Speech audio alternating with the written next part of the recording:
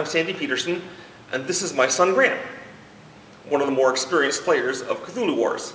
We're going to talk about specific about the strategies in detail. I'm going to talk about the exact abilities and spell books each faction gets.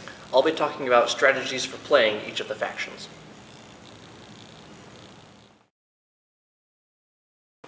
Let's go over some particular strategy for the Black Goat faction now. During your first round, what you should try to do is get at least one other gate, get one other gate, and then get a spell book. I recommend either getting have units in four areas, that spell book, really easy to do that. Um, after getting your first gate, you'll have spent four power. You'll spend two more to move some guys out, and then you can spend two more to move them back into safety. Safe from dreams, safe from getting over-captured.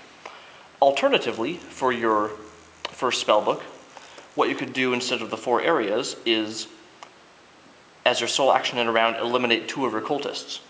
So you will be down to four power after building your gate. Then you spend zero power to kill two cultists off, and spend two power to build them back up. This is nice because after this, if you feel like you need to, you can also summon a ghoul to hang out with your cultists over there.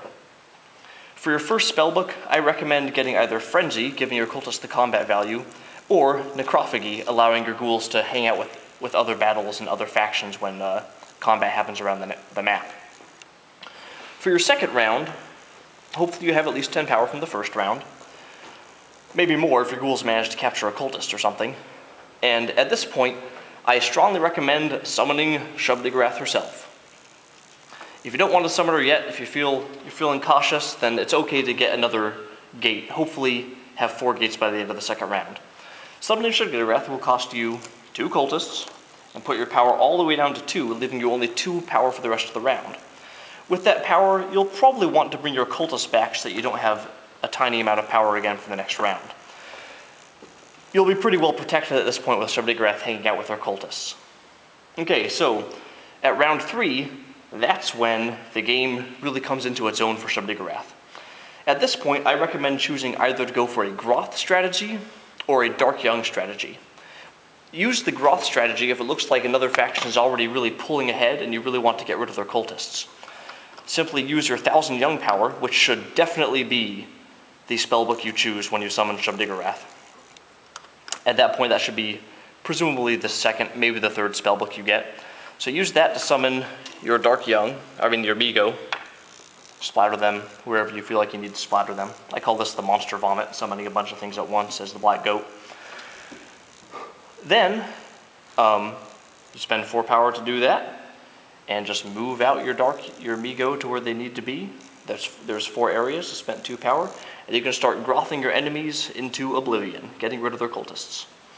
Um, this is especially good when one faction is really far ahead, such as Crawling Chaos or Cthulhu, because the other factions will help you vote kind of to get rid of all the cultists of that faction to help them pull behind and give the rest of you some breathing space. An alternative to doing the Ghroth strategy is to do a Dark Young strategy. Summon out a bunch of Dark Young. It would cost you 6 power to summon all of them, but you don't really have to. So say you were at 10 power, this brings you down to 4. This is something you should do if nobody else has really gotten ahead of anyone. You get the red sign, get the red sign spellbook as soon as you can, so that the Dark Young provide you with more power and can safely go out and build gates of their own without fear of being dreamed away or captured by monsters.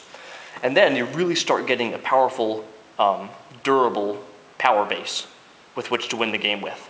From here on out, just spread your monsters across the board, use Avatar, use Necrophagy to spread out, and start doing rituals until you win. Black Goat is pretty simple, fun, and straightforward to play.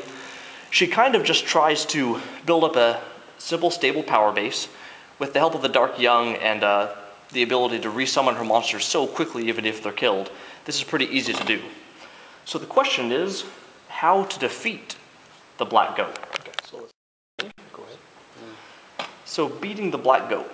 Since she can so easily build up a power base early on, especially if she delays getting out Shub-Niggurath in favor of using Dark Young to get some build some gates of their own early on in the game.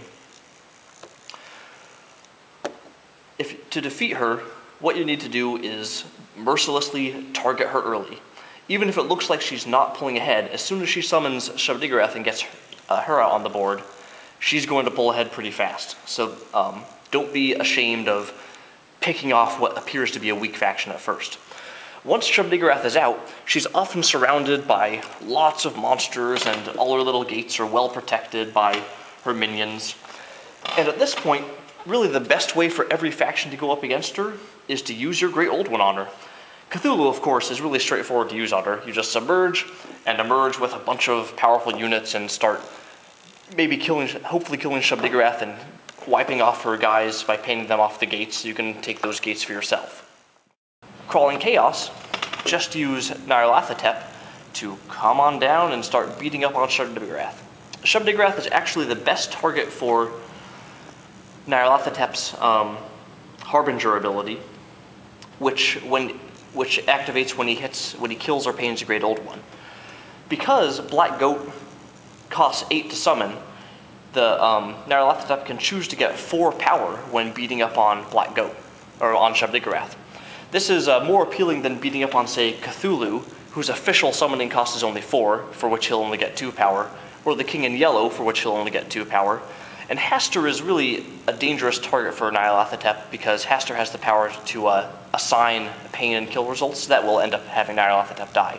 So ultimately, Nyarlathotep is at his best when he comes in and specifically hits hits up on the Black Goat. He can keep on getting power from painting her and kind of chase her around the map until he kills her with that power he gets. Um, for the Yellow Sign faction, like I said, Hastur has the power to assign the pains and kills that are rolled in the combat with him. So if Hastur were present, then of course you can just target Shub-Niggurath and kill her right off. This makes it really hard for Shub-Niggurath to recover. She has to spend 8 power and sacrifice 2 of her cultists to get her back. That really leaves her wounded, and during that time, she also can't do her monster vomit and summon a bunch of um, minions at once. So that's how to beat Black Goat. Pick off her cultists and bases early on, don't be ashamed to do it, and later on, target Shub-Niggurath with your Great Old One.